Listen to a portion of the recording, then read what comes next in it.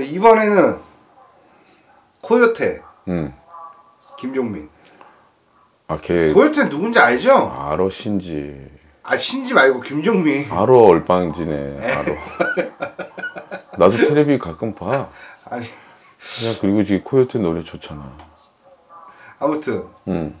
김종민. 음. 이분이 아직 미혼이잖아요. 나도 미혼. 그 선생님하고 같은 미혼인데 결혼을 언제쯤 할까?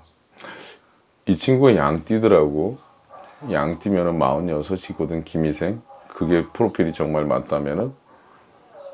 난 내년에 결혼한다는 내 프로테이지를 한 100 걸을까? 내년 내년 정도 결혼한다. 음, 79년생이에요. 음. 생일은 언제요? 9월 24일로 나와니까 음, 금년 후반기부터 내년까지는 결혼의 운이 확 치고 들어오는 거니까 아마 결혼할 것 같아. 내년 정도에 금년 후반 이제 연말부터 내년이겠지. 지금 그러면 지금 만나고 있는 사람이 있다? 있겠지. 아 있어요? 음. 음.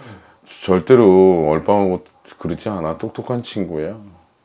처신 잘하는 친구고.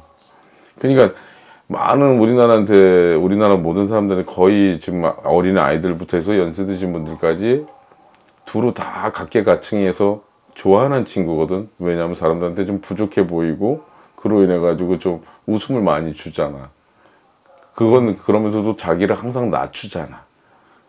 그러니까 그런 자체가 아마 많은 사람들이 좋아하는데 근데 그걸 갖다가 어떻게 보면 자기에게 컨셉으로 아마 계속 밀고 오는 것 같아. 아무튼 똑똑한 친구고 결혼은 내년에는 무조건 한다는 쪽에